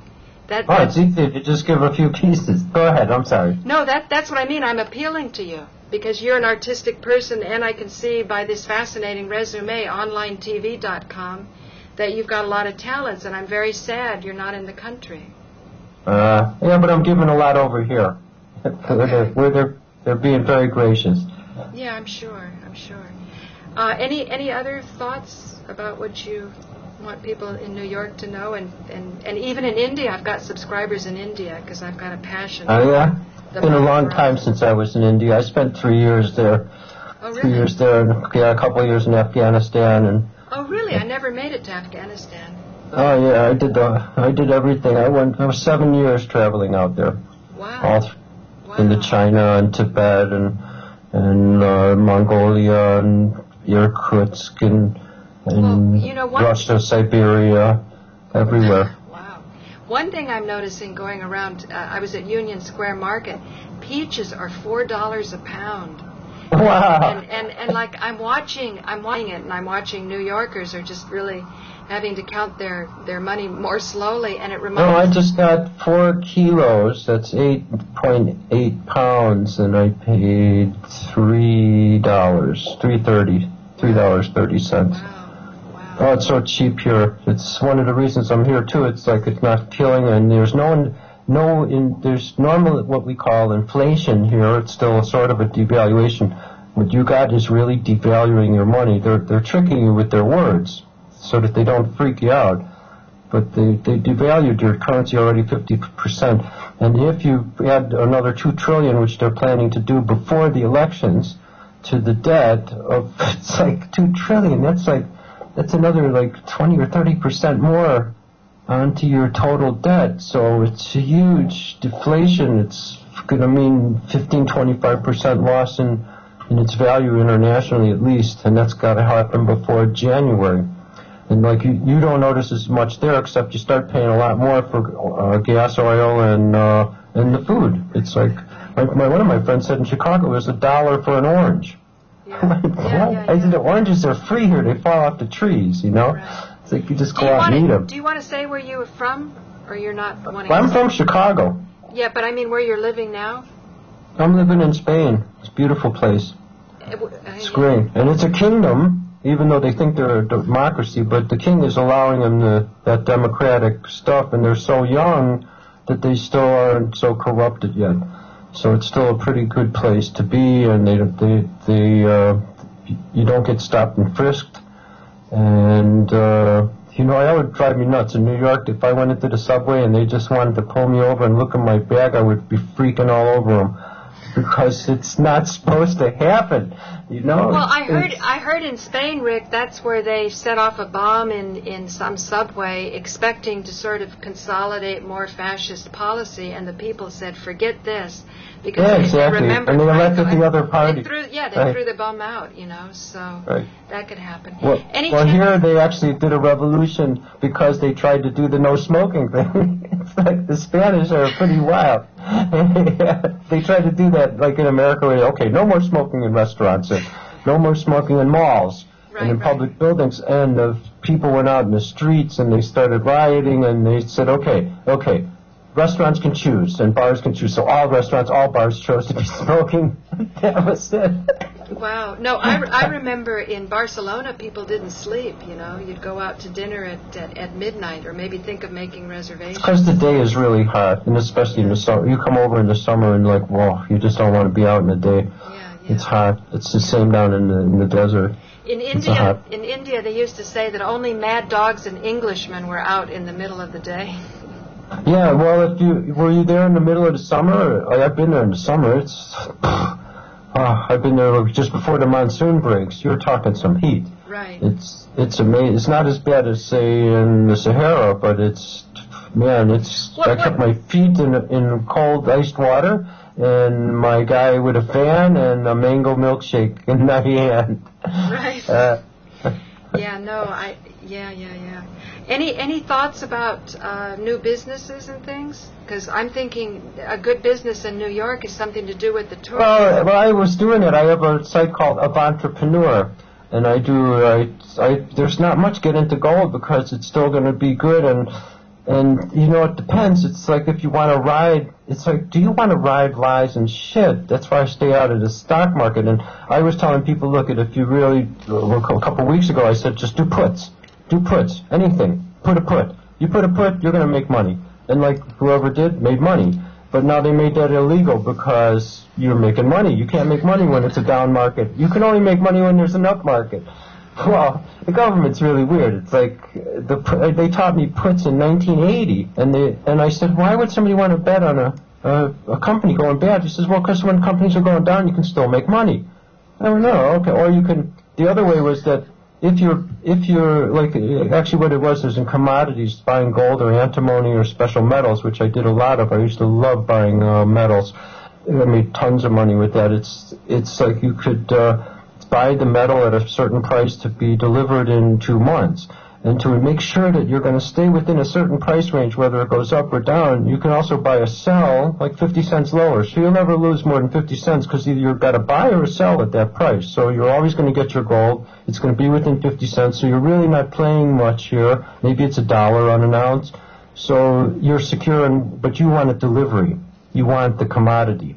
It's like many times I want the commodity. It's like you can, you want the oil. It's like I want 10,000 barrels of oil. I want that tanker in my backyard. You'll park it over here, and you'll take the delivery, and you got it at this cheap price. Now you can sell it, and they don't like people doing that, but you can do this, and it's that's. And I always played markets as if you really want to do that, because if you don't believe in taking your product, then you shouldn't play in that market and the speculators sort of play with this because it's it becomes this game. It's like and the game should really be that you see the future. It shouldn't be to crush somebody. I told you I learned if you go to Av Entrepreneur, I put the key in there, which is Oh, how do you you- manipulate you the stock market. Can you spell it for me? Avant, A V A N T, and then it's the rest is like entrepreneur, A V A N T R E P E R E U R, entrepreneur. So it- and that's and then uh, in there I tell you how to manipulate stock markets. I don't give you all of it because I don't want people really going out there. I think that's still going to live, and then people can do this. And whether they are in shock or not, it's like to know that the stock market is manipulated. If you don't know that, then you're in danger anyway. So it's like I wish people could wake up. To, like the stock market's so manipulative, and to do it is is see once you know how the market works, anyone knows how. To me, anyone can do it. So that means that guys with millions could do this easily, and, And that's why do. you could. Yeah, And and why wouldn't they? Because they had millions and like, wow, I can make a stock move. I could do it on myself because I had such a good record and I had so many accounts and I had enough money to sway it and I understood the psychology. I could make the moves happen. So once I understood that, I actually called my dad up and said, I can do this. And I said, any mid, I only had enough money to manipulate mid-range stock, stuff on American stock uh, in the 10 15 dollar range. So I couldn't do the real big stocks because you, you need to be able to sway enough trades to back up what you're trying to do. And so I could drive a stock down like 10, 20% and you could buy up at the lower price. And then of course it goes up because everything was bogus and you make 20% in a week. That's good. You wait six months, get your long-term capital gains, and 20% on your money every six months is pretty damn good. So Right. it works. And Right. plus, you're in a stable company because you know you screwed it around. You the same like Google. They did Google. Some guy in Google just did that to United, I think. And all he did was he just got a rumor going, drove the stock price down. All the time you're buying, got it down to two bucks when it was a twenty dollar stock or something. So now you're buying it at two, and within a day it pops up. You don't have to sell it and draw attention. You just wait because you want long-term capital gains. It's only 20% versus 40% of your profit. So it's like you wait to six months and then you sell your stock out. You made a good profit. You know United's going to do fine, and you just screwed everyone, and they are blaming some glitch, and you're the glitch. Wow. So And Google, you, they're they're um, owned by the CIA basically, so they're And- they're the and- biggest investor. NSA, I thought, according. Well, it's all the, it's actually all the, hey guys, I should send you this document I have. It was done in October 2001 that describes how they're going to create all these companies and the ones that they couldn't create so that all services are free and that you would have to be part of them because that would be the thing to do and they must own all this because then they would have access to all the information. right. No, and no. this is, this was their goal. Ca- So they, Yeah, Carl Person's got a lawsuit against them for monopoly because they acquired 65 companies. If if you built it up from the bottom, then that's okay. But because they acquired 65 companies, that is uh, anti-monopoly. So hopefully by the time disclosure comes along, there's going to be trainloads worth of documents to go over. He will have some more help on this, but I think it's very important to uh, to, Well, to Google, well, the figure out- CIA, the CIA sold two hundred million dollars worth of their stocks uh, about a year ago. I wrote about it on my Tech Talk, and I I had the links there. I mean, it's a public. It's do- it was done publicly. They had to release it because it's such a large amount of stock.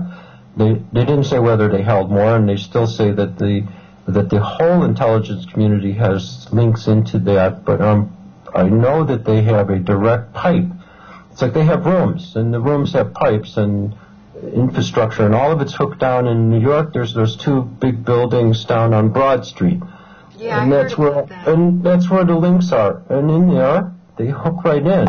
and all they want to do is get it as it comes through. They took over a company called Stealth Communications. That's where they stole my computer. And it was t- taken over in November of 2001 by the Department of Defense. They bought it out. And Stealth was the hub for all of IR, IRC communications in the world.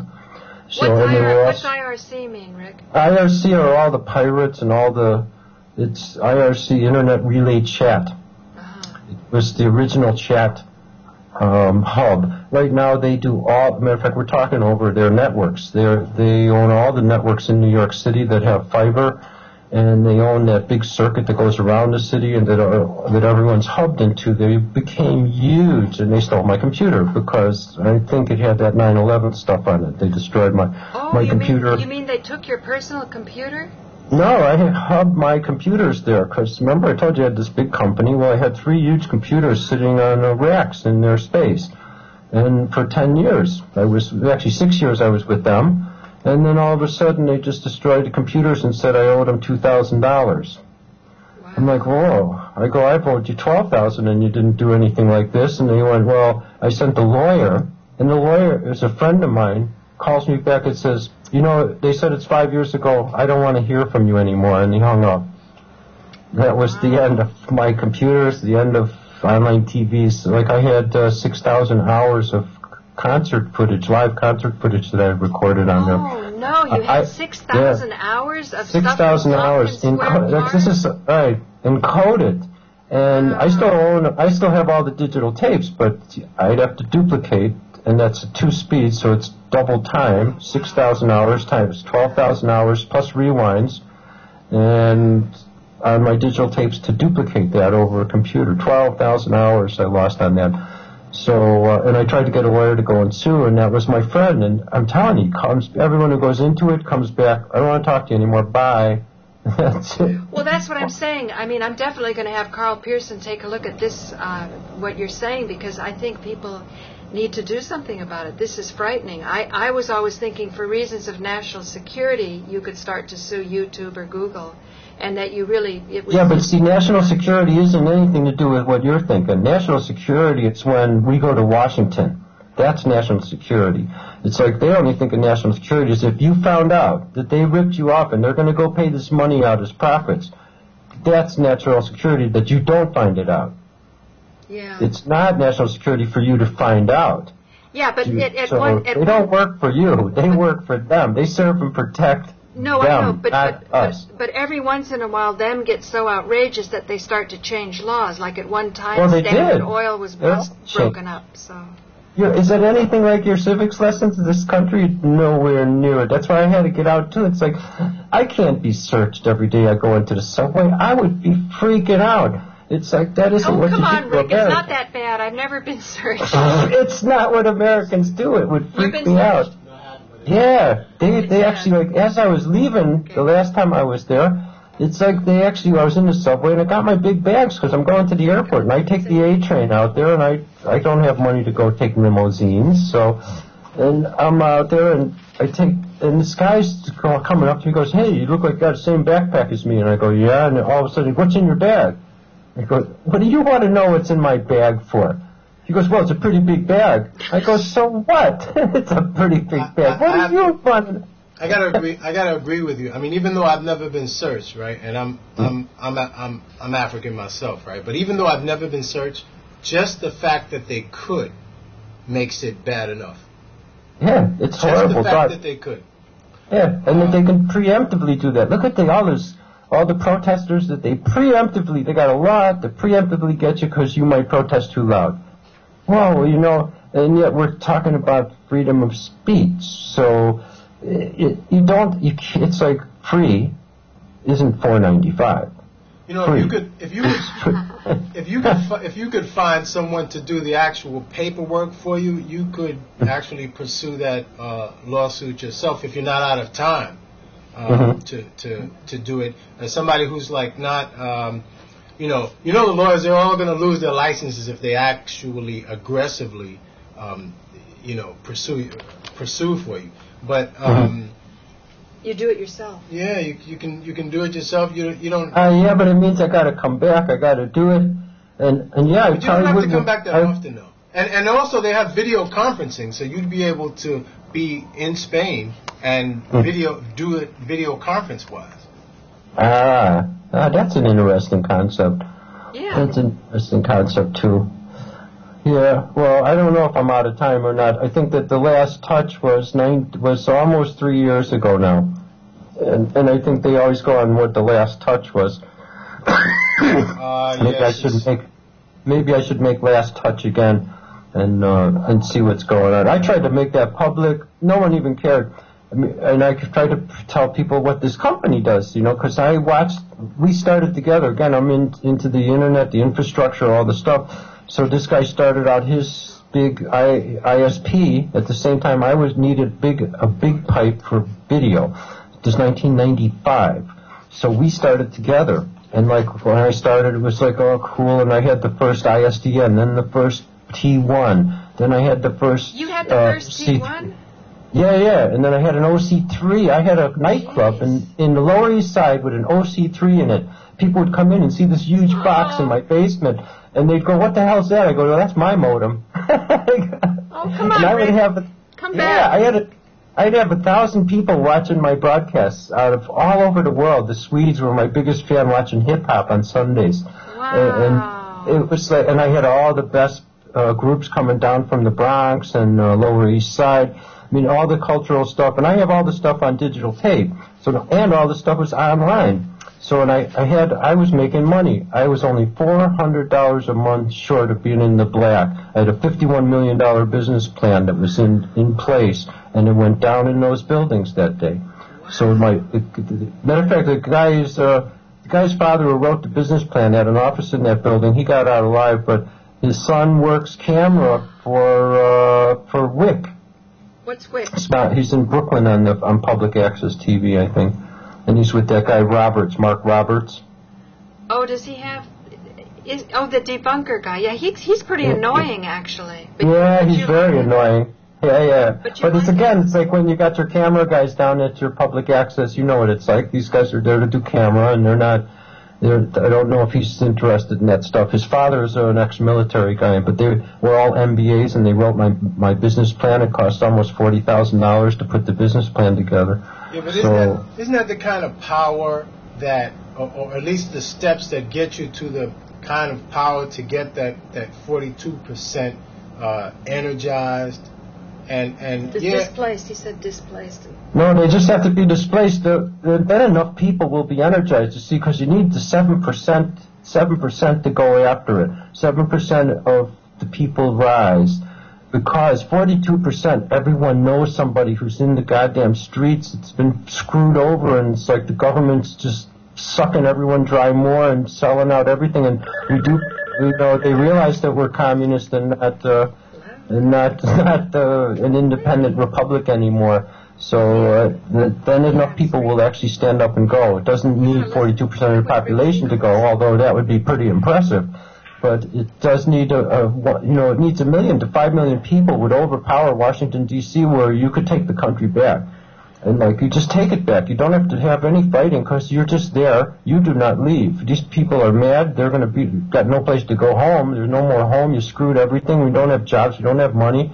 So what the hell are you going to do? You either cry in your face or you go change your government because your government did screw you. They took your money, made it worthless. They, they, it wasn't you that screwed you. You were trying to work. You're trying to do stuff, but they screwed your money and they the, the bank it's like the ridiculous you're going to give out nationalize the debt and privatize the profit it's say, ridiculous Say, say, Rick, we got a call right now from uh, from Peggy Carter. Do you know her? She's she's yeah yeah she's um, Peggy. She, he's talking about um, how you need 42% of people that are displaced in order to cause a change. Do you have any thoughts on that? Well, I'm not sure how well I'm gonna, you know, be received over the phone because I'm on the street and there's a lot of noise. I'm on my scooter actually. Okay, well maybe some other time we can thank you. d- get a show. I'll post this. It's been a very interesting interview that I, I had did with. hear what Rick said and uh, I found it interesting and I've always respected uh, Rick's intelligence and his point of view. So um, my uh, best regards and also, hey, you really look like uh, Bugsy Siegel, but you know what? he was very handsome, so that's nothing to be ashamed of. no, I saw that picture of Bugsy. I was like, wow, I, I do look like that. And I go, if I had, if I was his nephew, I wouldn't have to deal with these idiots. I would make two phone calls and there wouldn't be idiots. He So it's basically like, killed the guy. He was killed by the mob himself, so, you know, what does that say? right. Okay. Exit. I'll see you later. Bye for now. Okay, bye. Say, Rick, we're out of tape anyway. Uh, yeah, he was a dapper guy, man, but it's like, it's like, wow, and I go like, wow, if only I was, and they're only doing that because like, oh, he's a Jew and a mafia Jew. Cause see, Bugsy Siegel, Rick Siegel, oh, it's the same. They're both Jewish too. Oh my God, no wonder they hate Sofia. All right. Well, well, I really want to thank you for joining me farther down the rabbit hole. This has been an episode with Rick Siegel, who's been calling in from Spain and just sharing some of his ideas as both an artist and an entrepreneur. He's got uh, on avantentrepreneur.com, which I highly recommend you to go to, and that's what I've been rolling in. So thanks, Rick. Okay. Yeah, that's a good one. I, I, that's why I do my financial stuff. And I, I-